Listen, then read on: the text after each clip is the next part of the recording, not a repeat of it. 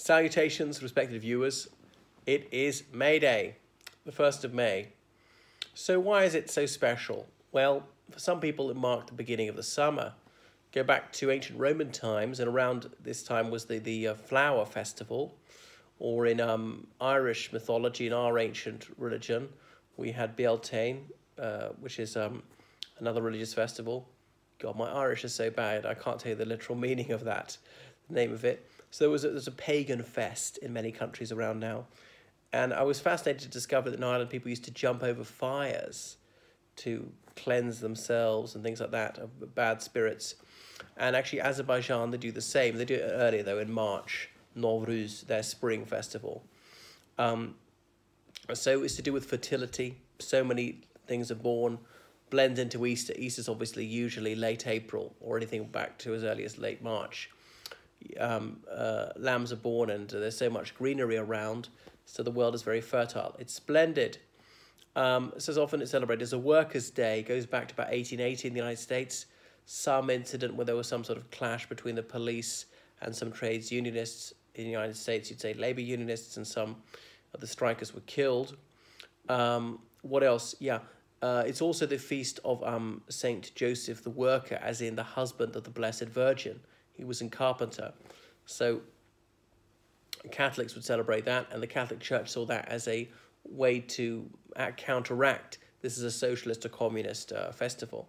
So um, since the early 20th century, it's been a um, holiday uh, in most uh, in most uh, countries, like um, certainly it is in Germany, in Romania, in Russia, the Republic of Ireland, the United Kingdom, and on and on.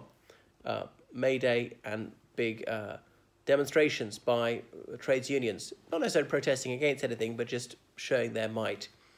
Miners having their galas now and things like that. So, um, for some people, this was the one night of the year where illicit sexual encounters were permitted, all to do with fertility in that, or um, crowning the Queen of May, uh, lubricious young woman wearing a wreath of flowers um, or the maypole put up on the village green in medieval England, people holding these ribbons, these streamers, and dancing around in a circle and dancing back, several of them around the maypole. Um, so then Oliver Cromwell came along and ordered those to be destroyed because he thought they were paganism or they were idolatrous, things like that. Germany has an even more um, splendid tradition of uh, dancing around the maypole, so it's part of the pageantry associated with this um, delightful feast. Um, anyway, in Oxford, it's a very special day, so some people have these all night parties. There's no ball as such called the May Ball, but there might be several May balls. Usually, balls uh, are held um, in early June, and that's when that's when the uh, Trinity term, that's the summer term, Oxford University ends. Um, but anyway, a lot of people would have been up all night to try and survive till dawn, about 6 a.m., gathered below Magdalen Tower. Magdalen is one of the colleges of Oxford University. It's spelt Magdalen, but pronounced Magdalen.